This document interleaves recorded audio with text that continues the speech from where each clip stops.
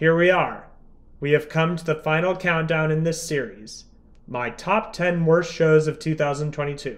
Now, I'd just like to say that this list is my subjective opinion, and if you like any of these shows, that's great.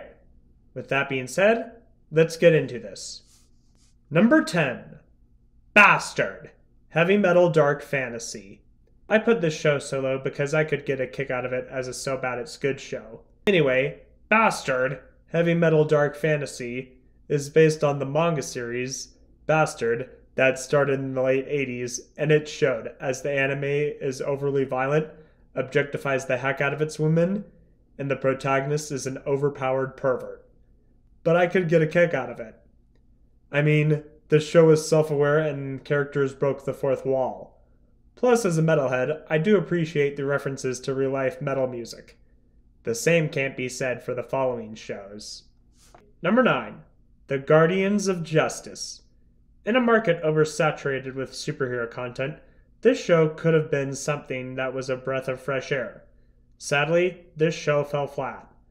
While the show had some interesting ideas and fun action scenes, it was all style and no substance. Number 8 Tales of the Walking Dead. The Walking Dead is a series that has overstayed its welcome, and this show is one of many spin offs to cash in off its success. This show felt very cheap and was lazily written and did things that just don't work for this universe. Number 7. The Terminal List. I have come to loathe the spy thriller genre, and this show is another example. It is just every spy thriller show and movie that came before it. The show is too melodramatic and dark, like it was darker than the DCEU, and it was just boring! Number 6. Farzar. Do I even need to say anything? This show was courtesy of Roger Black and Waco O'Guin, the guys behind Brickleberry and Paradise PD. Seriously, how do these guys keep getting shows made?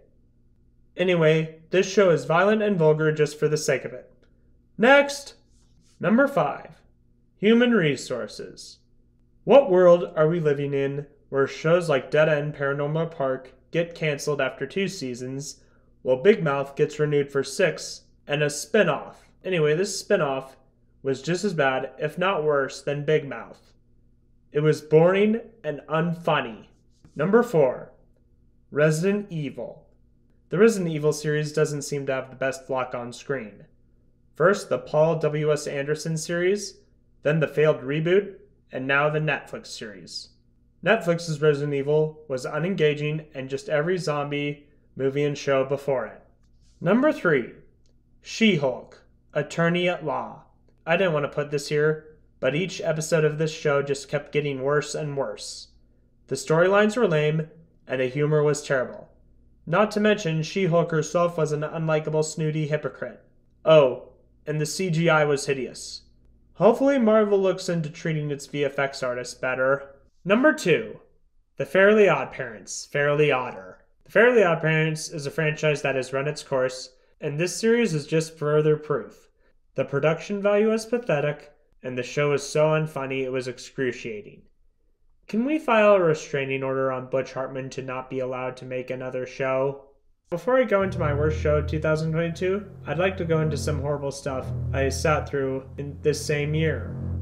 The Star Wars Holiday Special, Kirk Cameron's Saving Christmas, The Quisha, and The People vs. George Lucas. I list these movies because they were nothing compared to the horror that is my worst show of 2022. And my number one worst show of 2022 is.